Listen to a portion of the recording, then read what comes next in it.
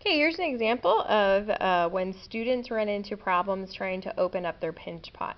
Um, you had it in your non-dominant hand, you pushed your thumb in, and you started to pinch, but what happens is sometimes students either push too hard and they rip hole through their clay pot, or students end up switching their hand position, and you end up putting all your fingers in the middle and now your thumb is on the outside. Well, when you do that, now when I pinch my clay, what happens is I start to open up my pot too much.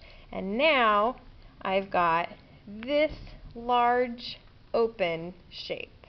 That happened because your hands were on the inside, not your thumb.